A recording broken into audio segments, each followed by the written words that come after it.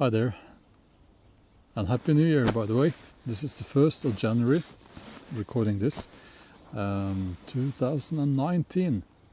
Uh, I just realized I have the sun in my eyes, but I think we'll be okay anyway.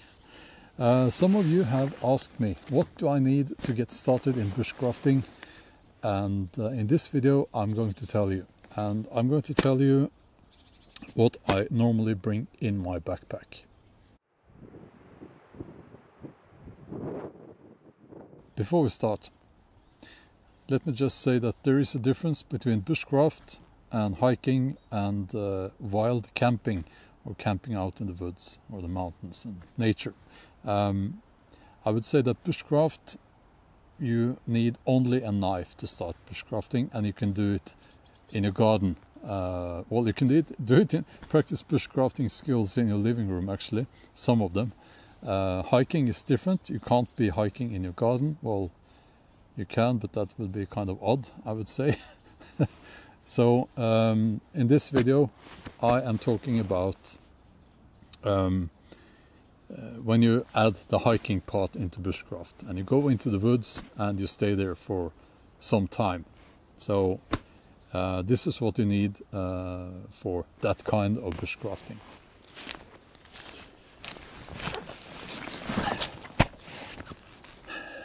Okay, so first of all, you will need a backpack. And I would say that the most important thing about the backpack is that it fits your body, your back. And many people, um, they buy backpacks that are too long here in, in this. The torso length is not, is too long. Um, so please try to get a backpack that fits your back. If it's too long, it will, uh, this belt, the hip belt, will squeeze on your, well, I can't remember the names now, but nerves uh, in your uh, hips, which will, um, it will be very un uncomfortable. Okay, and also try to get a backpack that is lightweight. Okay, I see lots of bushcrafters, they buy heavy backpacks. Um, and I know some of you will tell me that that's that's fine, but my opinion, my honest opinion, after having hiked for miles and miles and miles, is that every ounce counts. Okay.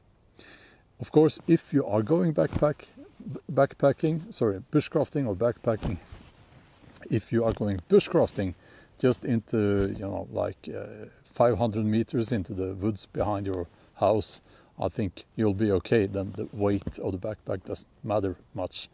But um, as a general rule, try to get a backpack that is lightweight, but it still has to be uh, built um, in a solid way. It can't be some of the very uh, ultralight backpacks are just too um, brittle and they can tear, especially when you carry it with you axes and uh, well an axe, a knife and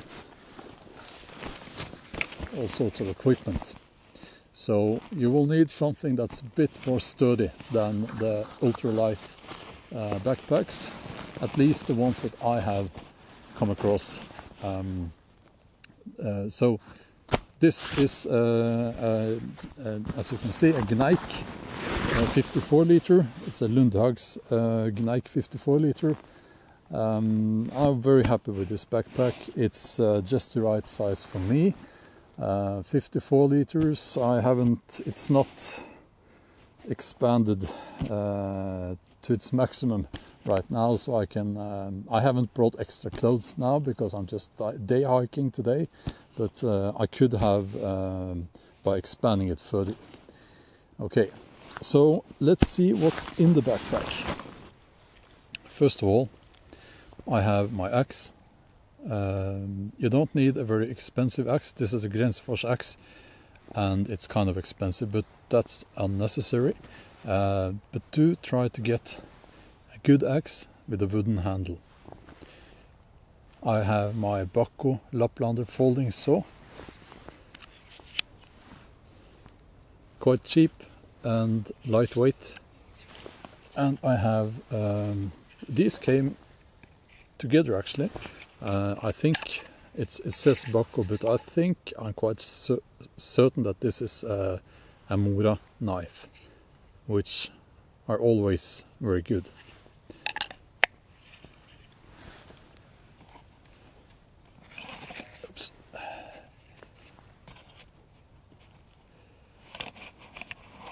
Sorry. I have um, a flashlight, uh, just a small one, on a carabiner hook here. Um, and thank you, Kane. Thank you, because he sent me this as a Christmas gift. So thank you. I have uh, a drinking uh, a water bottle made of stainless steel. Try to get stainless steel um, because it um, you can put that over your fire and boil water directly in it if you forgot your kettle. Here's my kettle. Uh, sleeping bag. Try to get a warm sleeping bag. Do not save money on your sleeping bag. If you are going to spend money, spend those money on a good sleeping bag. Uh, if you are in a uh, humid um, environment, try to get a synthetic. Uh, if you are in a dry or uh, Arctic environment, uh, down is better because it's warmer and um, more lightweight. And this is um, again, thank you. Uh, I can't remember your name right now. Sorry about that. You sent me a uh, piece of advice through my Patreon page um, because this is a uh, you put this around your inflatable sleeping pad, which is here.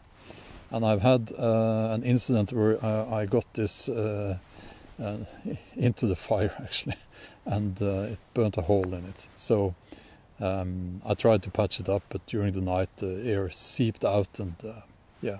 So after that, I bought this, which you put around your inflatable sleeping pad. You can get um, a foam sleeping pad, but my because of my back, you know, I I think it's more comfortable with an inflatable sleeping pad.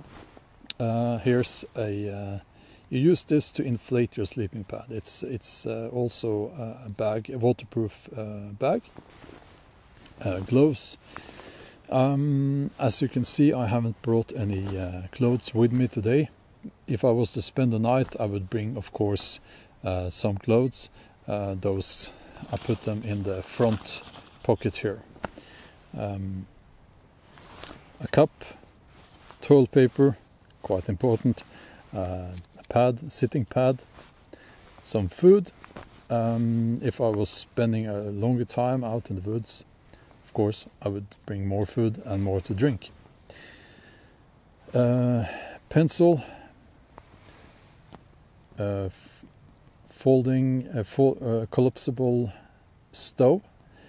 Um, spork, did I mention my tarp? Here's the tarp. You can also use this as an emergency shelter. Uh, it's a uh, bag. Uh, check out my video about this bag. It's awesome. Um, first aid kit, notebook, compass, GPS. I use the GPS. I never use the GPS. Uh, I use it only for if I find something that you know an area of interest, or uh, I I mark that as a waypoint on my GPS. And a map, toothbrush, and there's this strange little item here. Those are matches. Um, and you might have noticed that there are no flint and steel, no ferro rod here, because I think that that's not where you want to start. You want to start by building a sensible fire, and you do that using uh, matches or a lighter. I must say, uh, even though I tell everyone do bring matches or lighter, I never do myself, but I should. I know I should because in an emergency this is faster and you know, so bring matches or um, or your uh, lighter. Um, so this is what you need to go out for some time in the woods, at least in this area. Um, if it was colder, I mean, it's strange, it's January, than I would uh, here in Norway, but it's still very warm. I would bring more clothes, of course. This is a very warm sleeping bag, but so that's that's for the winter. But I would bring more clothes, of course. Okay, so this is what I think you need to uh, be able to get out into the woods and stay there for overnighters in uh, comfort while practicing your bush bushcraft skills. Now, um, obviously, if you are only going out for a few hours, you don't need all this. Um, basically, I would say you need a knife, that's all. Um, and depending on where you are going, you will need also, um, I mean, a map, a compass, and also please do learn to use the map and compass. It's not difficult, and it makes uh, life uh, a lot more uh, safe out in the woods. Now, um, of course, there will be variations depending on where you are.